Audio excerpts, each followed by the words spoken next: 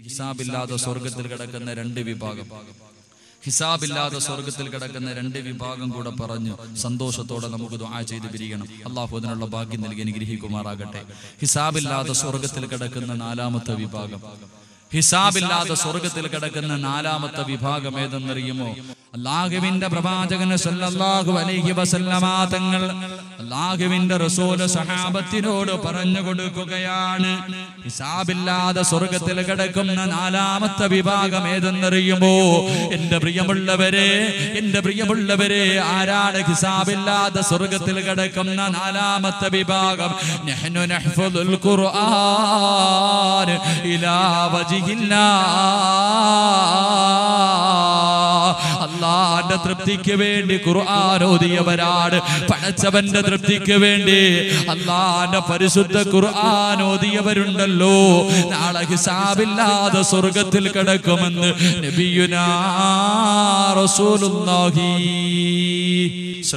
അലൈഹി വസല്ലമ തങ്ങൾ പറയുക.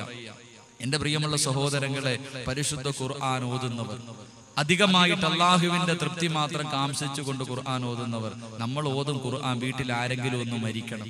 വീട്ടിൽ ആരെങ്കിലും ഒന്ന് മരിക്കുമ്പോ എന്റെ പ്രിയപ്പെട്ടവർ ഖുർആൻ കൈകൊണ്ട് തൊടും എടുത്തു വെച്ച് ഓതാറുണ്ട്. പണ്ടൊക്കെ പണ്ടൊക്കെ ഞങ്ങളൊക്കെ കോളേജിൽ പഠിക്കുന്ന കാലം മരണ വീട്ടിലേക്ക് ഓതാനൊക്കെ ഒരുപാട് പോയവനാണ് ഞാൻ. ഞങ്ങളൊക്കെ ദറസിൽ പഠിക്കുന്ന കാലഘട്ടത്തിൽ മരിച്ച വീട്ടിൽ വലിയ പണക്കാരുടെ വീട്ടിലൊക്കെ ആരെങ്കിലും മരിച്ചു കഴിഞ്ഞാൽ വന്ന് മുത്താലിമീങ്ങളെ വിളിച്ചോണ്ട് പോകുമായിരുന്നു. കാരണം ഖുർആൻ ഓതാൻ അവർക്കൊന്നും സമയമില്ല. ഞാനൊക്കെ ഒരുപാട് ഓതാൻ പോയിട്ടുണ്ട്. പിന്നീട് ഒരു അവസരത്തിൽ ചിന്തിച്ച് ഞാനൊരു വീട്ടിൽ ഓതിക്കൊണ്ടിരിക്കുമ്പോൾ രാത്രി ഞാൻ ഇങ്ങനെ ഇരുന്ന് മയ്യത്തിന്റെ മുന്നിൽ ഇരുന്ന് ഓതുന്നു. മോനാണെങ്കിൽ ഇങ്ങനെ ഫോണൊക്കെ വിളിച്ച് ഇങ്ങനെ കറങ്ങി നടക്കുന്നു. അപ്പൊ ഞാൻ ആലോചിച്ച് പടച്ചവനെ ആ സ്വന്തം മോനില്ലാത്ത ആത്മാർത്ഥത എനിക്കെന്തേ? എന്റെ പ്രിയമുള്ളവർ പിന്നെ ജീവിതത്തിൽ ഇന്ന് വരെ മരിച്ച വീട്ടിൽ മയ്യത്തിൽ ഖുറാൻ ഓതാൻ ഞാൻ എത്രയോ വർഷം പഠിച്ചിട്ടുണ്ട്. എന്നെ വിളിച്ചിട്ട് ഞാൻ ഇന്ന് പിന്നെ പോയിട്ടില്ല. എന്റെ കഴിവിന്റെ പരമാവധി എന്റെ കൂട്ടുകാരെ ഞാൻ വിടാറുമില്ല. മരിച്ച വീട്ടിൽ പോയി മയ്യത്തിന്റെ അടുത്ത് ഖുർആൻ ഓതണ്ട എന്നറിയാം നോക്കിയപ്പോ സ്വന്തം മകൻ.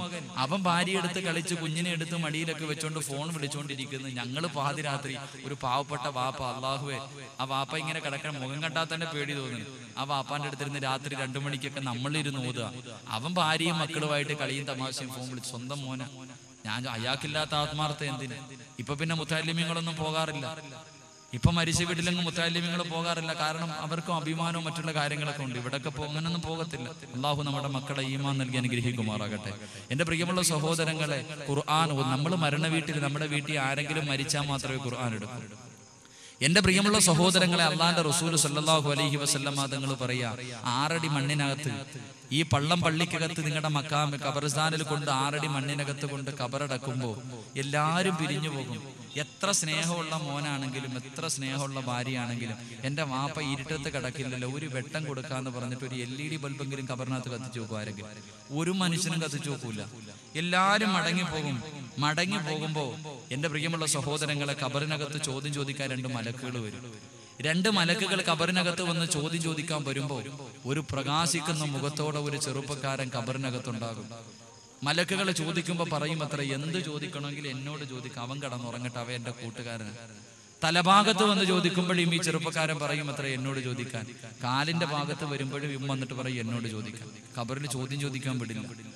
എന്റെ അള്ളാന്റെ റസൂൽ പറയുന്ന നാളെ ഇവിടത്തെ മക്കാമിൽ നിന്ന് കബറിസ്ഥാനിൽ നിന്ന് ഇങ്ങനെ ചില ആൾക്കാർ തന്റെ തലയിൽ ഇരിക്കുന്ന മണ്ണും തട്ടിക്കിട്ട് എഴുന്നേറ്റ് വരുമ്പോ സ്വർഗത്തിലെ വസ്ത്രവും സ്വർണത്തിന്റെ കിരീടവുമായി പുഞ്ചിരിക്കുന്ന മുഖത്തോടെ നമ്മുടെ കബറിന്റെ തലഭാഗത്ത് ഒരു ചെറുപ്പക്കാരൻ കാത്തു നിൽക്കും. എഴുന്നേറ്റുടനെ പറയും സമയമില്ല പെട്ടെന്ന് എഴുന്നേക്ക്.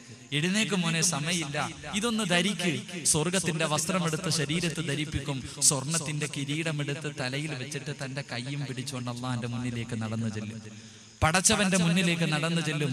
ഈ കയ്യിൽ പിടിച്ചുകൊണ്ട് പോകുമ്പോ നീ ചോദിക്കും ആരാ മോനെ നീ? ഞാൻ നിന്റെ കൂട്ടുകാരൻ. വിളിച്ചുകൊണ്ട് അള്ളാന്റെ മുന്നിൽ പോയിട്ട് പറയും അത്രേ പടച്ചവനെ ഇവന് നീ സ്വർഗം കൊടുക്കണം ഇവൻ എന്റെ കൂട്ടുകാരൻ. ഇവൻ എന്റെ കൂട്ടുകാരൻ ആ സ്വർഗം കൊടുക്കണം. കൈപിടിച്ചുകൊണ്ട് സ്വർഗത്തിൽ പോയി ഇരുതുവാനെന്ന മലക്കിനോട് സലാം പറഞ്ഞ് കവാടങ്ങൾ തുറന്നിട്ട് സ്വർഗത്തിലെ തൂബ എന്ന് പറയുന്ന മരത്തിന്റെ ചുവട്ടിൽ നിന്നെ കൊണ്ടിരുത്തുന്ന ഒരു കൂട്ടുകാരനുണ്ട്. മഹാനായ നബിയുന റസൂലുള്ളാഹി സ്വല്ലല്ലാഹു അലൈഹി വസല്ലമ തങ്ങൾ പരിചയപ്പെടുത്തുന്ന ഒരു കൂട്ടുകാരൻ. ഏറ്റവും നല്ല കൂട്ടുകാരൻ.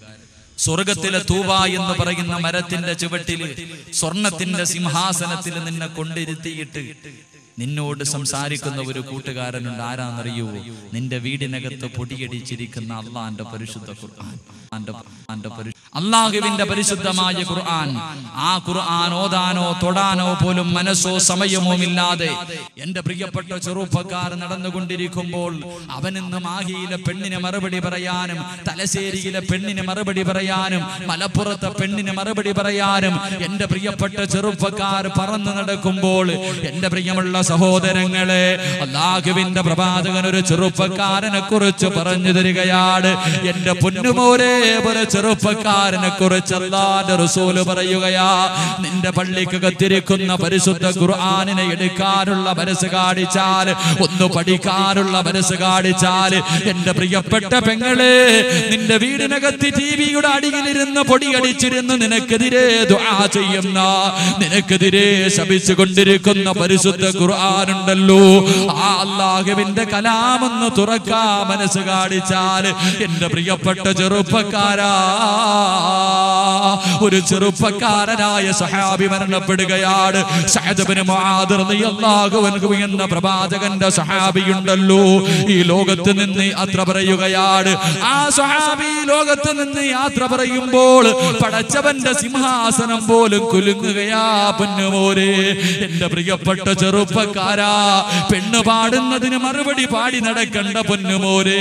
വാശി കാണിക്കേണ്ടത് എന്തിനാണെന്നറിയുവോ ചെറുപ്പക്കാരാ? എന്റെ പ്രിയമുള്ള മോനെ വാസി കാണിക്കേണ്ടത് എന്തിനെന്നറിയുമോ? അന്തല്ലതി വലതത് ഉമ്മുക ബാക്കിയാ. വന്നാസു ഹൗലക യൽഹഖൂന സുറൂറാ. واجهد لنفسك أن تكون إذا بكوا في حال موتك لاحقا مسرورا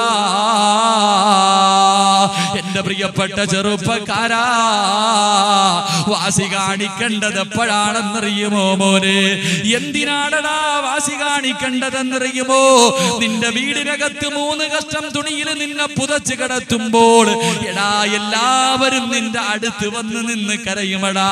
നീ ജനിക്കുന്ന സമയത്ത് നീ കരഞ്ഞടാ. നിന്റെ ഉമ്മയുടെ വയറ്റിൽ നിന്ന് ഈ ഭൂമിയിലേക്ക് കടന്നു വന്നപ്പോൾ നിന്റെ ഉമ്മ എത്ര കരഞ്ഞവളാണെങ്കിലും എത്ര വേദന സഹിച്ചവളാണെങ്കിലും നിന്റെ മുഖം കണ്ടപ്പോ നിന്റെ ഉമ്മ വല്ലാതെ പുഞ്ചിരിച്ചു മോനെ നിന്റെ പ്രിയപ്പെട്ട വാപ്പ ചിരിച്ചടാ നിന്റെ കൂടപ്പുറപ്പും നാട്ടുകാരും എല്ലാവരും ചിരിച്ചടാ അവരെല്ലാവരും ചിരിക്കുമ്പോ നീ ഒരുപാട് കരഞ്ഞു മോനെ നീ കരഞ്ഞു മോനെ. നീ കരയുമ്പോ അവരെല്ലാവരും നിന്റെ ചുറ്റുഭാഗത്ത് നിന്ന് ചിരിച്ചടാ. അതുകൊണ്ട് വാസി വേണം ചെറുപ്പക്കാരാ. അതുകൊണ്ട് വാസി വേണം ചെറുപ്പക്കാരാ. അതുകൊണ്ട്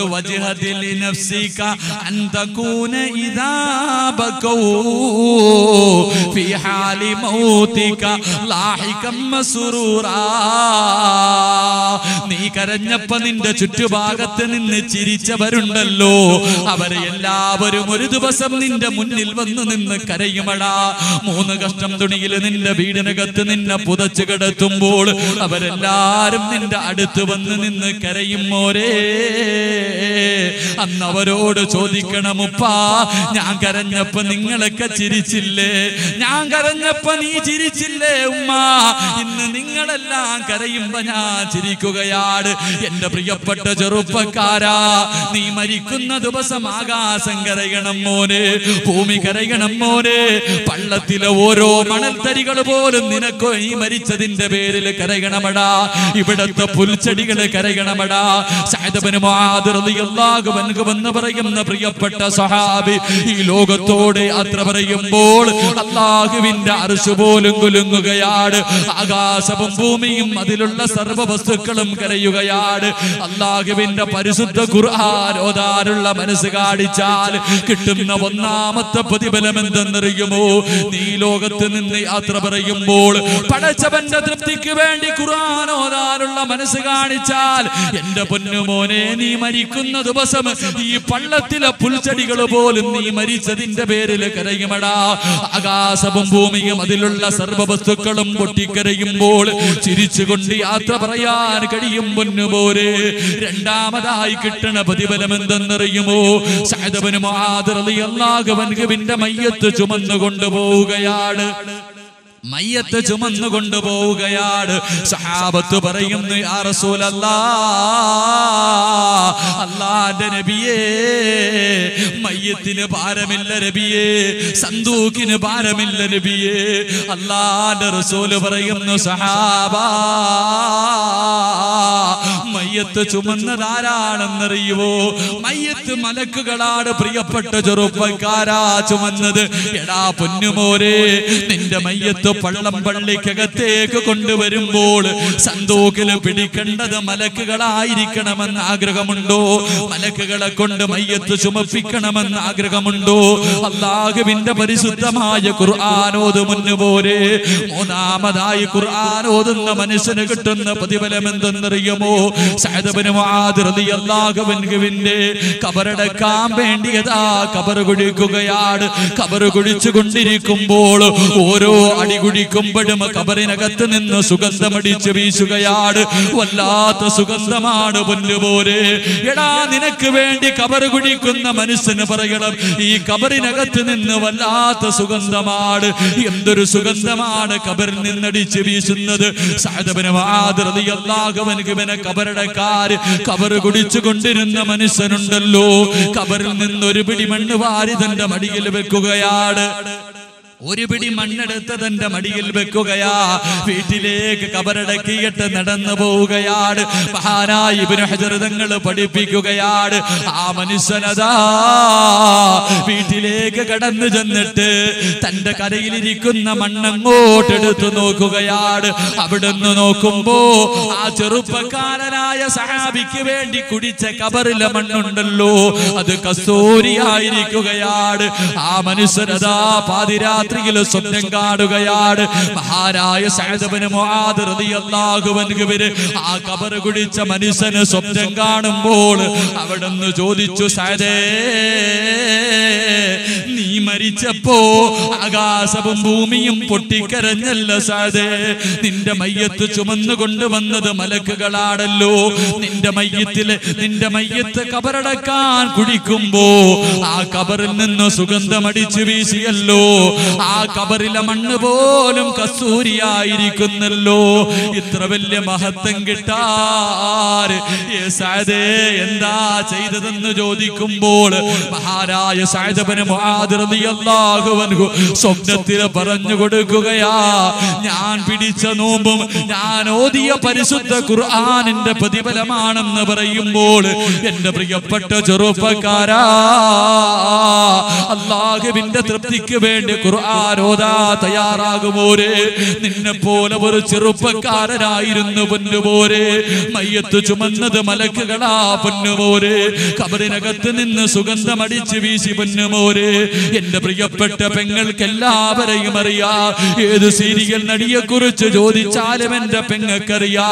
ഏത് സീരിയൽ നിർത്തിയത് എവിടെയാണെന്ന് ചോദിച്ചാലും എന്റെ ഉമ്മയ്ക്കറിയാ. എന്തെല്ലാം കഥകൾ ചോദിച്ചാലും ഏത് നോവലിനെ കുറിച്ച് ചോദിച്ചാലും ഏത് സിനിമാ താരത്തെ കുറിച്ച് ചോദിച്ചാലും എന്റെ പള്ളത്തുള്ള പെങ്ങൾക്ക് പറയാ വല്ലാത്ത സന്തോഷമാണ്. പറയാൻ വല്ലാത്ത സന്തോഷമാ. പക്ഷേ എന്റെ പ്രിയപ്പെട്ട പെങ്ങളെ നിനക്ക് വേണ്ടി ഒന്നും പറഞ്ഞില്ലെന്ന് നീ പരാതി പറയല്ലേ?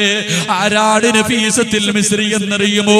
അള്ളാഹുവിന്റെ പ്രവാചകം പഠിപ്പിക്കുകയാണ്. ഫീസത്തിൽ മിശ്രി അള്ളാഹു താലാനകയുടെ ചരിത്രം അറിയുമോ നഫീസത്ത് മാലയൊന്നെടുത്ത് വെച്ചോതാൻ കഴിഞ്ഞിട്ടുണ്ടോ? നിന്നെ പോലെ ഒരു ചെറുപ്പക്കാരിയായിരുന്നു. നിന്നെക്കാളും സൗന്ദര്യമുള്ളവളാ. നിന്നെ പോലെ വികാര വിചാര വിചാരമുള്ളവളാ. പച്ചമാംസവും ശരീരവുമുള്ള പെണ്ണായിരുന്നു. താലാൻകയുണ്ടല്ലോ പരിശുദ്ധ ഖുർആ കേട്ടുകൊണ്ടിരിക്കുകയാണ്. കബറിനെ കുറിച്ചുള്ള ആയത്തോതുകയാണ് അതാബിനെ കുറിച്ചുള്ള ആയത്ത് കേൾക്കുകയാണ്. തന്റെ വീട്ടിലേക്ക് പ്രഭാഷണം കഴിഞ്ഞ് മടങ്ങി പോവുകയാണ് തന്റെ കൂരയ്ക്കകത്തേക്ക് കടന്നു ചെന്ന് അന്ന് വരെ നിസ്കരിച്ചു കൊണ്ടിരുന്ന സ്ഥലത്ത് നിന്ന് മുസല്ലയെടുത്തു മാറ്റുകയാണ്. മുസല്ലയെടുത്ത് മാറ്റിയിട്ട് വീടിന്റെ മൂലയിലേക്ക് കടന്നു ചൊല്ലുകയാണ്. മണ്ണ് കുടിക്കുന്ന ആയുധം എടുത്തു കൊണ്ടുവരികയാണ്. വീടിനകത്ത് നമസ്കരിച്ചു കൊണ്ടിരുന്ന സ്ഥലത്ത് കബറ് കുടിക്കാൻ തുടങ്ങുകയാ. പൊന്നുമോളെ ഇന്ന് വരെ കബറ് കുടിച്ചിട്ടുണ്ടോ? ഇന്ന് വരെ കബറ് കണ്ടിട്ടുണ്ടോ? ഇന്ന് വരെ പള്ളിക്കാട്ടിൽ പോയിട്ടുണ്ടോ? അവിടെ പോകേണ്ടവളാണെന്ന് നിനക്ക് വിചാരമുണ്ടോ? നിന്നെ പോലെ ഒരു പ്രിയപ്പെട്ട പെങ്ങളുണ്ടല്ലോ. വീടിനകത്ത് കബറ് കുടിക്കുകയാണ്. ദിവസങ്ങൾ കടന്നു പോവുകയാണ്. രാവിലെ മുതൽ വൈകുന്നേരം വരെ നോമ്പ് പിടിച്ചിട്ട് പാതിരാത്രികൾ മുഴുവനും ആരുമറിയാതെ വീടിനകത്ത് കബറ് കുടിച്ചു കൊണ്ടിരിക്കുകയാണ് കബറിന്റെ പണി എങ്ങോട്ട് പൂർത്തിയാകുമ്പോൾ വീടിന്റെ വെളിയിലേക്ക് ഇറങ്ങുകയാണ് കുളിച്ചു ശുദ്ധിയാവുകയാണ് വീടിനകത്തേക്ക് കടന്നു വരികയാണ് നമസ്കരിക്കാറുള്ള മുസല്ല എടുക്കുകയാണ് വിളക്കെടുത്തങ്ങോട്ട് മാറ്റി വെക്കുകയാണ് തനിക്ക് വേണ്ടി കുടിച്ചിട്ട കബറിനകത്തേക്ക് ഇറങ്ങിയിരുന്നിട്ട് പതിനായിരം റകഅത്തോളം നിസ്കരിക്കുകയാ പതിനായിരം റകഅത്തോളം സ്വന്തമായി കബറ് കുഴിച്ച് കബറിനകത്ത് ഇറങ്ങിയിരുന്നു നിസ്കരിക്കുകയാണ്. എന്റെ പ്രിയപ്പെട്ടവരെ നമസ്കാരം അങ്ങോട്ട് കഴിയുമ്പോ അള്ളാന്റെ പരിശുദ്ധ ഖുർആൻ എടുക്കുകയാണ്. എന്റെ പ്രിയപ്പെട്ട പെങ്ങന്മാരുടെ വീട്ടിൽ അലമാരിയുടെ മുകളിൽ പൊടിയടിച്ചിരിക്കുന്ന ഖുർആൻ ഒന്ന് തുറന്നു നോക്കാത്ത ഖുർആൻ ഒരു സൂറത്ത് പോലും ഓതാത്ത ഖുർആൻ ഒരു പത്ത് സൂറത്ത് പോലും ഹൃദയത്തിൽ കൊണ്ട് നടക്കാത്ത പെങ്ങൾ ഒരു യാസീനെങ്കിലും ഇന്നത്തെ ദിവസം ഓതാത്ത പെങ്ങൾ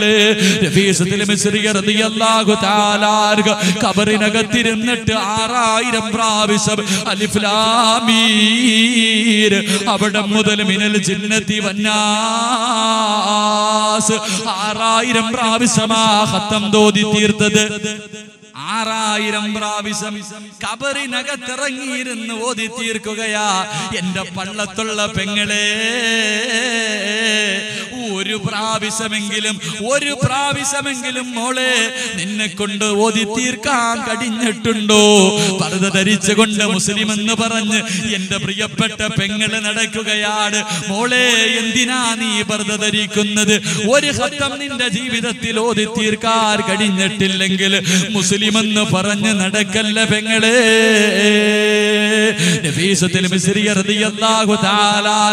എന്നും നോമ്പുകാരിയാണ്. ഉറക്കമില്ല. നമസ്കാരവും ഖുർആനും ഓതിക്കൊണ്ടിരിക്കുകയാണ്. തന്റെ കുടുംബക്കാര് കടന്നു വരികയാണ്. അവിടെ നിന്ന് പറയുന്നു നഫീസ പട്ടിണി കടക്കല്ലേ രബീസ? ഒരു ദിവസമെങ്കിലും ആഗ്രഹാഹാരം കഴിക്ക് രബീസ. ഒരു രാത്രിയെങ്കിലും ഒന്ന് ഉറങ്ങ് രബീസ. ഇല്ലെങ്കിൽ നീ പട്ടിണി കിടന്ന് മരിച്ചു പോകുമെന്ന് പറയുമ്പോൾ എന്റെ പ്രിയപ്പെട്ട മുസ്ലിം പെണ്ണേ നിന്നെ പോലെ ഒരു സുന്ദരിയായ പെണ്ണ് പറയുകയാണ്. മുപ്പത് വർഷക്കാലമായി രാവിലെ മുതൽ വൈകുന്നേരം വരെ നോമ്പ് പിടിച്ച് അള്ളാഹുവിന് വേണ്ടി നമസ്കരിച്ച് ഖുർആാരോദിയിട്ട് അള്ളാരോട് ചോദിക്കുന്നത് രണ്ടേ രണ്ട് കാര്യമാ. എന്താ ചോദിക്കുന്നതെന്നറിയുമോ പടച്ചറപ്പേ അസറായിലിനെ കണ്ടുമുട്ടുന്ന ദിവസം എന്നെ ഒരു നോമ്പുകാരിയാക്കണേ അല്ലാ. നിന്റെ ഖുർആാരോധി എന്നെ മരിപ്പിക്കണേ റബ്ബേ. തന്റെ കുടുംബക്കാര് മടങ്ങി പോവുകയാണ് ദിവസങ്ങൾ കഴിയുകയാണ് തന്റെ മരണം അങ്ങോട്ടെടുക്കുകയാണ് മരണത്തിന്റെ സമയമെത്തുമ്പോൾ വീടിന്റെ വെളിയിലേക്ക് പോയി കുളിക്കുകയാണ് വളരെ സൂക്ഷ്മതയോടുകൂടി അവസാനത്തെ കുളിയാണ് കുളിച്ചിട്ട് തന്റെ വീടിനകത്തേക്ക് കടന്നു വരികയാണ് തനിക്ക് വേണ്ടി വാങ്ങി വച്ചിരിക്കുന്ന കഫം തുണി എടുക്കുകയാണ് തനിക്ക് വേണ്ടി വാങ്ങി വച്ചിരിക്കുന്ന കഫൻ തുണി എടുക്കുകയാ. സ്വന്തമായിട്ട് കുടിച്ചിട്ട് കബറിന്റെ ഓരത്ത് പോയിട്ട് കാത്തു കിടക്കുകയാണ് അവസരത്തിൽ അതാ ആകാശത്തിന്റെ കവാടങ്ങൾ കീറി മുറിച്ചുകൊണ്ട് മലക്കുൽ മൗത്ത് കടന്നു വരികയാണ് പുഞ്ചിരിക്കുന്ന മുഖത്തോട് സലാം പറഞ്ഞ് സ്വീകരിക്കുകയാണ് ഒന്നാമത്തെ ആഗ്രഹം സാധിച്ചിരിക്കുകയാണ് ഇസ്രായേലിനെ കണ്ടുമുട്ടുന്ന ദിവസം നോമ്പുകാരിയാണ്. മരിക്കുന്ന ദിവസം നോമ്പുകാരിയാണ്. അലി അലൈഹിസ്സലാം വീടിനകത്തേക്ക് കടന്നു വന്നിട്ട് നഫീസത്തിന് തആല അൻഹയുടെ പിടിക്കാൻ തുടങ്ങുകയാ. വേദന സഹിക്കാൻ കഴിയുന്നില്ല പെങ്ങളെ. വേദന സഹിക്കാൻ കഴിയുന്നില്ല പെങ്ങളെ. നഫീസത്തിൽ മിസ്രി റളിയല്ലാഹു തആല റൂഹങ്ങോട്ട് റൂഹ് പിടിച്ചുകൊണ്ടിരിക്കുമ്പോ വേദന സഹിക്കാൻ കഴിയാതെ കണ്ണങ്ങോട്ട് നിറയുകയാ പോരേ. അവസരത്തിൽ അതാ മലക്കുകൾ കടന്നു വരികയാണ്. എന്നിട്ട് പരിശുദ്ധമായ ഖുർആാനിന്റെ ആയത്തോതി കൊടുക്കുകയാണ്.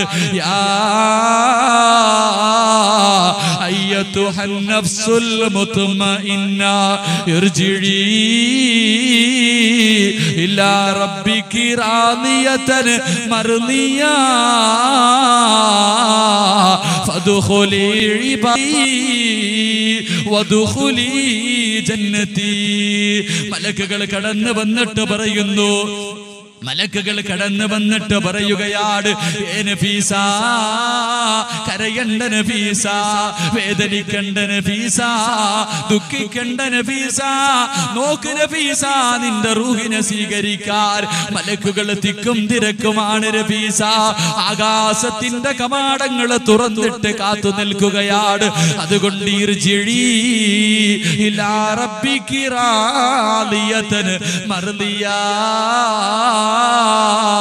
റബ്ബികി في عبادي ഫദ്ഖുലി جنتي. മലക്കുകൾ അങ്ങോട്ട് സ്വാഗതമരുളുകയാണ് മലക്കുകൾ സന്തോഷ വാർത്ത അറിയിക്കുകയാണ് തന്റെ ഒന്നാമത്തെ ആഗ്രഹം നടന്നിരിക്കുകയാ. നോമ്പുകാരിയായി മരിക്കണമെന്ന് ആഗ്രഹം നടന്നു. രണ്ടാമത്തെ ആഗ്രഹം എന്തെന്നറിയുമോ? കബർ കുടിച്ചിട്ട് കബറിനകത്തിറങ്ങിയിരുന്ന് ആറായിരം പ്രാവശ്യം ഓതി തീർത്ത പരിശുദ്ധ ഖുർആൻ ഓതി മരിക്കണമെന്നാണ് രണ്ടാമത്തെ ആഗ്രഹം.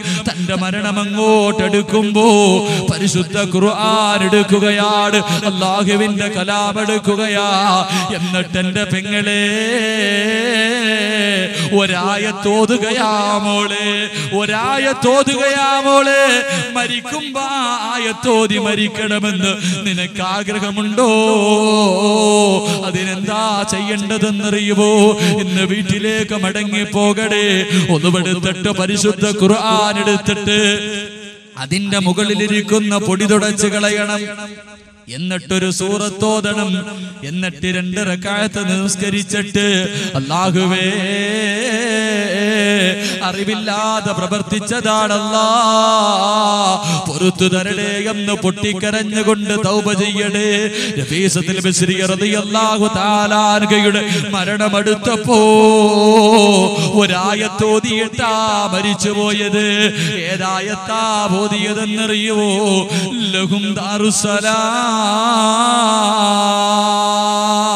ലഹും ദാറുസലാം عند ربهم وهو وليهم بما كانوا يعملون സ്വർഗത്തിന്റെ ആയത്തോതിയിട്ട് മരിക്കുകയാണ് അതുകൊണ്ട് എന്റെ പ്രിയപ്പെട്ട പെങ്ങളെ നാളെ നിന്റെ കൈപിടിച്ചുകൊണ്ട് സ്വർഗത്തിന്റെ വസ്ത്രം ധരിപ്പിച്ച സ്വർഗത്തിന്റെ സ്വർണത്തിന്റെ കിരീടം നിന്റെ തലയിൽ വെച്ചിട്ട് നിന്റെ കൈ പിടിച്ചുകൊണ്ട് പടച്ചവന്റെ മുന്നിൽ ചെന്നിട്ട് അള്ളാഹുവേ ഇവക്ക് നീ സ്വർഗം കൊടുക്കണേ അല്ല ഇവന് നീ സ്വർഗം കൊടുക്കണേ അല്ല എന്ന് പരിശുദ്ധ ഖുർആൻ പറഞ്ഞിട്ട് നിന്നെ സ്വർഗത്തിലെ തൂബ എന്ന് പറയുന്ന മരത്തിന്റെ ചുവട്ടിൽ കൊണ്ടിരുത്തുന്ന ഓതാൻ എന്റെ പ്രിയപ്പെട്ടവരെ തീരുമാനിക്കണേ.